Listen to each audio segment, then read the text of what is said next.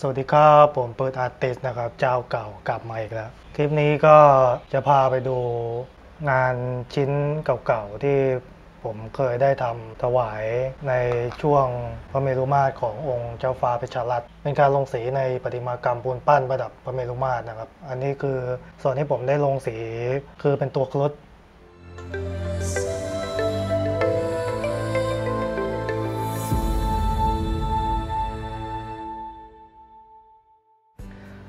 นะครับก็ส่วนนี้ก็คือเป็นการลงสี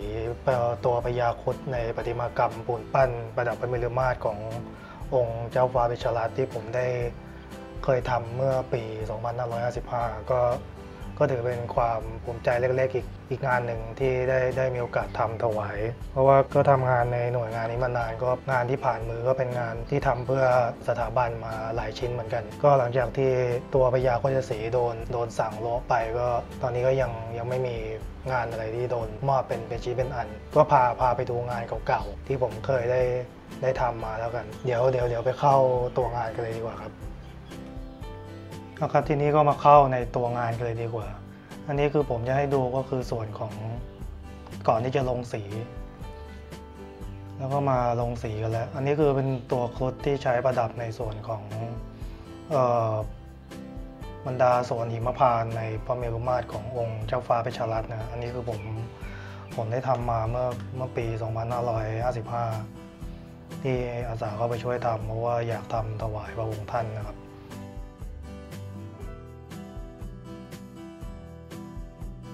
ก็ในส่วนนี้ก็เพราะคลิปที่แล้วผมทำตัวนกกระสดีลิงไปมี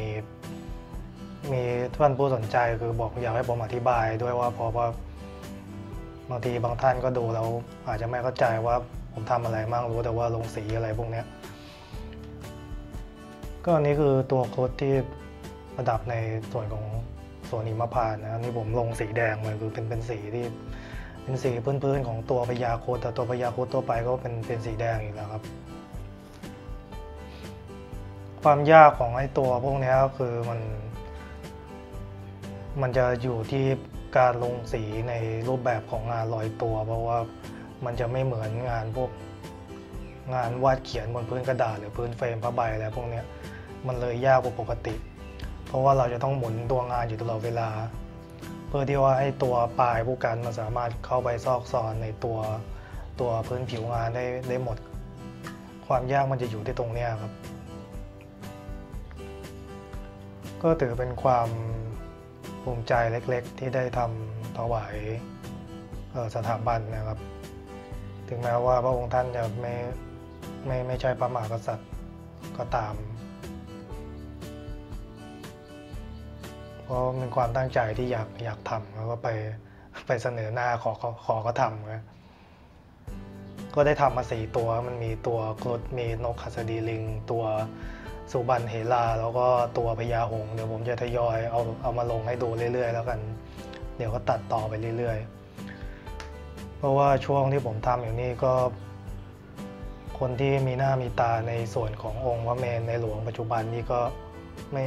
ไม่ไม่มีใครคิดจะมาช่วยครับ เพราะช่วงนั้นก็มีนักศึกษาฝึกงานมาช่วยกันเขียนตัวพวกเนี้ยอยู่หลายหลายคนเหมือนกัน แต่คนที่มีหน้ามีตา ในที่ออกข่าวกันเยอะๆในปัจจุบันก็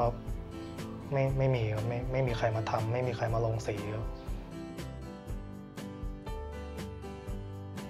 มีช่างยันผู้น้อยมีมาช่วยทำอยู่ไม่กี่คน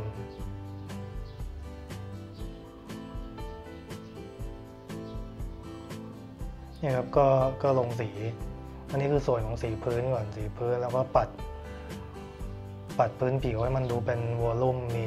มีน้ำหนักนิดๆหน่อยๆเพราะว่าอาจจะเป็นเพราะว่างานที่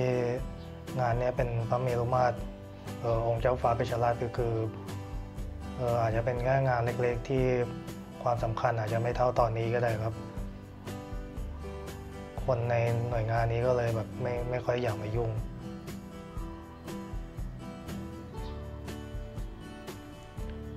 เพราะคนที่ออกสื่อบ่อยๆ ช่วงนั้นก็ ไม่ไม่ค่อยมีครับ แต่ช่วงนี้คือจะมีแบบออกสื่อกันเยอะ แล้วคนที่ออกสื่อกันเยอะๆ ช่วงนี้ก็คือ จะตอนองค์เพชรราชคืองานเขางานที่ทำถวายเขาเขาคือเขาเขาจะไม่ได้แตะเลยครับ แล้วก็จะเกี่ยงกันทำมากพอสมควรคือแต่แต่ผมไม่เกี่ยงก็คือผมผมเสนอหน้าก็ไปทำผมอยากทำอยากทำถวายท่าน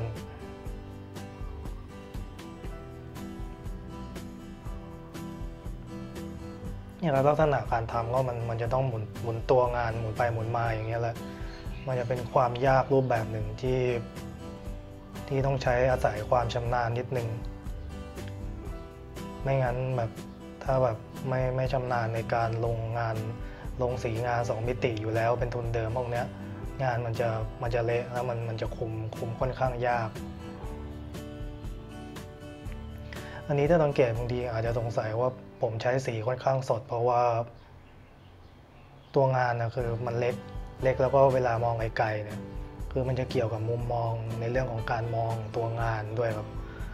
เพราะว่าถ้างานเล็กๆแล้วใช้สีจืดๆงานมันจะยิ่ง งานมันจะยิ่งจืดแล้วมองมองอะไรไม่ค่อยจะเห็น หมายถึงเวลามองไกลๆอะไรพวกนี้แต่เวลามองใกล้ๆสีมันจะสดสดลายล้อมตัวตัวพระเมนสวยๆ เดี๋ยวท้ายคลิปผมจะขึ้นรูปเต็มๆ ตอนติดตั้งไปให้ดูแล้วกัน จริงๆไอ้รูปตอนติดตั้งก็คือผมผมขึ้นไว้ตั้งแต่ทีแรกแล้วที่ที่เกรินไว้ตอนตอนเริ่ม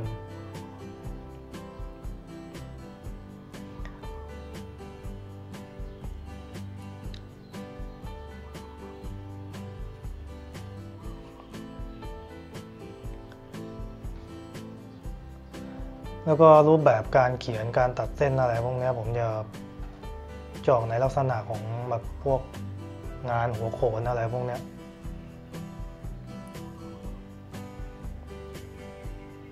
เอามาประยุกต์ใช้กับตัวงานประติมากรรมร้อยตัว จริงๆมันมันก็ใช้ได้หลายหลายรูปแบบนะแล้วแล้วแต่แล้วแต่ว่าความคิดของช่างจะเป็นยังไง งานสวยๆเนียนๆช่วงนั้นก็เยอะเหมือนกันฝีมือพี่ๆผ่าย ฝีมือพี่ๆฝ่ายจิตรกรรม ก็มีฝ่ายนั้นก็มีฝีมือดีๆ เยอะเกือบทุกคนนะ แต่ผมนี่ฝ่ายประติมากรรม แต่ก็มีทักษะทางวาดวาดเขียนอยู่เยอะพอสมควรพราะจบมาสายวาดรูป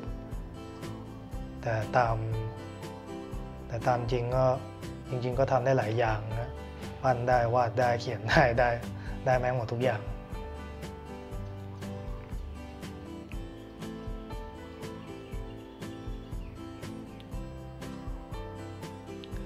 จริงๆผู้บริหารในช่วงนั้นก็ถือว่าดีก็คือให้โอกาสคนที่ไม่เออไม่ไม่ให้ให้โอกาสคนที่ไม่ไม่ไม่ได้อยู่ในกลุ่มงานที่เกี่ยวกับการวาดโดยตรงได้ได้สามารถเข้ามาร่วมทำได้ แล้วก็ไม่ไม่มีการเอาคนนอกเข้ามายุ่งวุ่นวายแต่ในขณะที่งานพระเมนในหลวงรัชกาลที่ 9 ในปัจจุบันนี้ก็คือมีมีคนนอกที่ไม่ ที่เข้ามายุ่งวุ่นวายกันเยอะพอสมควร อันนี้คือไม่ไม่รวมถึงบรรดาจิตอาสานะครับ คือผมจะแยกออกไป จิตอาสานั่นคือพวกพี่ๆที่เขามาช่วยอาสาคือเขาตั้งใจมาช่วยจริง ๆ แล้วก็งานพระเมนในหลวงก็มีการคือเอาเอาคนเพียงไม่กี่คนเข้ามาตัดสินผลงานว่างานมันควรจะผ่านหรือไม่ควรจะผ่าน จริงๆ งานพระเมรุมาตรในหลวงรัชกาลที่ 9 ถือว่าเป็นงานระดับ ระดับประเทศระดับชาตินะครับประชาชนทุกคนควรมีมีส่วนร่วมในตัวเนื้องาน มีส่วนมีมีส่วนในการตัดสินว่างานไหนควรจะ เอาไปไว้บนขึ้นไปบนขึ้นไปไว้บนพระเมรุมาตร ไม่ใช่เอาคนไม่กี่คนมาตัดสินที่เอาแบบพวกพ้องตัวเองเขามาตัดสินว่างานไหนควรจะได้เลยควรจะงานไหนไม่ควรได้ คือมันเป็นความล้มเหลวของกระบวนการ บริหารบุคคลในองค์กรนี้ครับ มันเป็นความล้มเหลวโดยสิ้นเชิงที่บรรดาผู้บริหารประเภทก็เอาดีเข้าตัวเอาชั่วเขาคนอื่นนะคือมันเป็นอย่างนั้นแหละครับ เมื่อเปรียบเทียบกับผู้บริหารในยุคอดีตแล้ว คือสู้สู้กันไม่ได้นะวุฒิภาวะทางการจัดการการบริหารองค์กรค่อนข้างต่ำมีความเป็นผู้นำค่อนข้างน้อย คือยึดถือประโยชน์ของพวกพ้องตัวเองเป็นหลัก คือจะไม่ยึดถือผลประโยชน์ขององค์กร ไม่ยึดถือในสิ่งที่บรรดาช่างฝีมือที่ตัวเองมีอยู่แล้ว ซึ่งช่างส่วนใหญ่ที่อยู่ในหน่วยงานนี้คือฝีมือดีๆทั้งนั้นครับ ไม่มีใครไม่ฝีมือฝีมือไม่ดีหรอกครับเพราะก่อนจะเข้ามาทำที่นี่ได้ก็ต้องสอบ สอบ ซึ่งมีข้อสอบที่หินพอสมควร แต่ระบบการจัดการและทัศนวิสัยของผู้บริหารค่อนข้างค่อนข้างน้อย วิสัยทัศน์เหมือนเด็กๆ ที่ไม่รู้จักโต หาพวกพ้องใช้พวกพ้องตัวเองเป็นหลักสำคัญ ทั้งๆที่มันเป็นงานของประเทศชาติเนี่ยครับอันนี้ก็คือผมลงสีเหลืองแล้วก็สีทอง สีทองในส่วนที่มันเป็นแบบต้องลงทองอะอย่างที่ผมเคยบอก ในคลิปเก่าๆอะก่อนที่จะลงสีทองเนี่ยเราควรจะลงสีเหลืองไปก่อนเพราะว่าไอ้ตัวสีเหลืองเนี่ยมันสามารถคัดคัดในตัวคัดตัวตัวสีทองเนี่ยให้ให้มันขึ้นแล้วมีความเงางามมากขึ้น จริงๆ สีมันก็สีไอ้ตัวรองพื้นก่อนสีทองเนี่ยมันก็มีมีมีได้สองสีสีสีขาวก็ได้สีเหลืองก็ได้ สีขาวก็จะให้อารมณ์ในอีก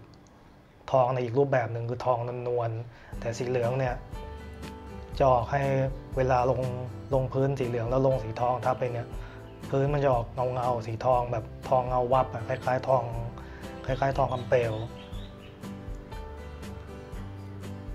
ตัวสีทองนี่ก็คือมันเป็นอะคริลิกยี่ห้อยี่ห้อของเออสีมะกรนะครับ คือน่าจะเป็นอะคริลิกสีทองที่มี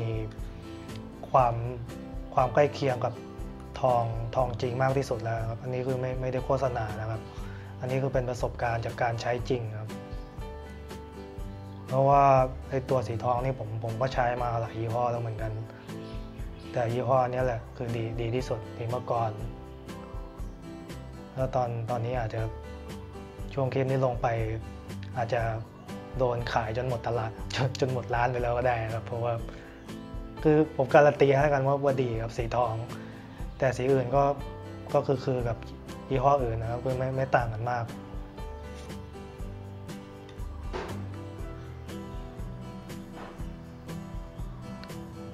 นนี้คือผมเร่งให้มันเร็ว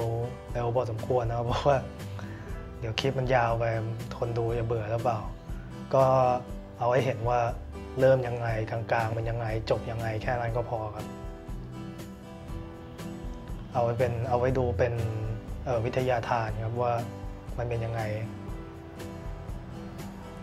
จริงๆ พวกงานพวกนี้คือผมผมก็ถ่ายวิดีโอไว้หมดนะเกือบทุกชิ้น ก็เอาไว้เป็นประวัติชีวิตตัวเอง แล้วก็ตั้งใจเอาไว้เผยแพร่ให้คนรุ่นหลังได้รับรู้ว่าว่ากระบวนการในการสร้างสรรค์งาน พวกนี้มันเป็นยังไง เพราะว่ามันเป็นสิ่งที่คนทั่วไปไม่ไม่ค่อยได้เห็น ไม่มีโอกาสได้เห็น ส่วนใหญ่ที่ออกไปตามสื่อก็มีแต่มีแต่ภาพนิ่ง ภาพนิ่งแล้วก็โชว์ acting คนทำแต่อันนี้คือผมผมถ่ายเป็นวิดีโอเพื่อที่ว่าจะได้เห็นไปเลยว่ามันมันเริ่มยังไงจบยังไง เพราะว่าบางทีดูแต่ภาพนิ่งผมมองว่ามันมันก็ไม่ได้อะไร มันมีแต่ภาพนิ่งๆ ให้ดู มันมันไม่เกิดประโยชน์อะไรต่อคนที่อยากจะเรียนรู้ แต่ถ้าถ้ามันเป็นแบบวิดีโอพวกนี้คือมันมันจะเห็นหมดนะครับว่าว่ากระบวนการมันเป็นยังไง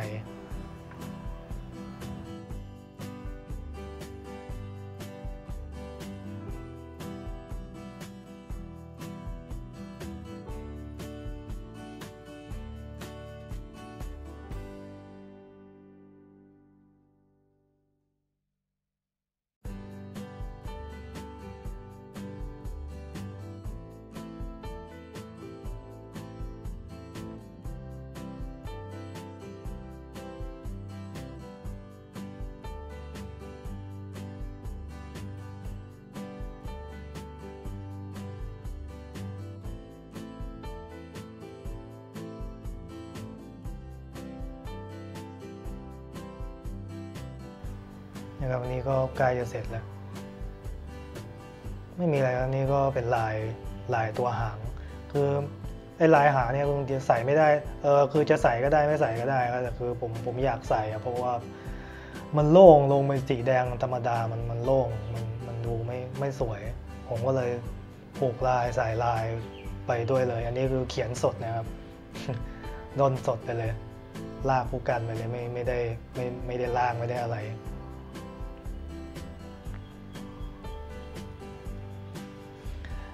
จริงๆไอ้ตัวเนี้ยก็คือผมคือไม่เขาให้อิสระในทางความคิดในการเขียนงานพอสมควรนะครับ คือจะจะไม่เหมือนไอตอนคือจะไม่เหมือนตอนที่ผมปั้นโคชสีปัจจุบันนะครับที่คือโดน ต้องทำตามบรรดาผู้พ้องผู้บริหารสั่งเท่านั้นนะครับ จริงๆ รูปแบบงานศิลปะความถูกผิดมันก็ไม่มีหรอกครับบรรดาสัตว์หิมพานต์ทั้งหลายก็คือ ก็ไม่มีใครเคยเห็นตัวจริงอยู่แล้วครับเพราะมันเป็นจินตนาการที่ ออกมาจากคนยุคโบราณ คนโบราณเขาเป็นคนคิดขึ้นมาบรรดาสัตว์หิมพานต์ทั้งหลายครับ รูปแบบตายตัวมันจึงไม่มีครับเพราะเพราะฉะนั้นเวลาจะกำหนดรูปแบบตายตัว มันเป็นเรื่องของส่วนบุคคลมากกว่านี่ครับอันนี้ก็คืองานที่เสร็จแล้ว เรียบร้อย อันนี้ก็หมุนให้ดูเลย acting สวยๆ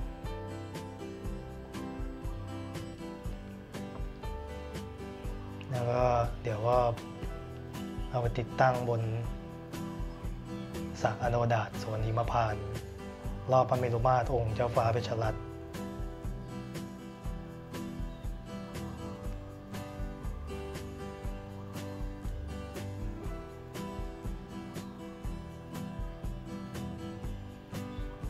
นะครับก็เรียบร้อยไปแล้วจบ เดี๋ยวยังไงก็คลิปนี้ไว้แค่นี้ก่อนแล้วกันครับ ยังไงก็อย่าลืมกดติดตาม กด subscribe ช่องของผมกันเยอะๆนะครับเปิดอาร์ติชแนลแล้วเดี๋ยวก็ผมจะเอาพวกสัตว์หิมพานอะไรพวกเนี้ยที่ผมเคยเขียนไว้เนี่ยมามาลงอีก 2 ตัวเพราะเขียนไว้ 4 ตัว คลิปนี้ก็แค่นี้ก่อนแล้วกันครับ สวัสดีครับ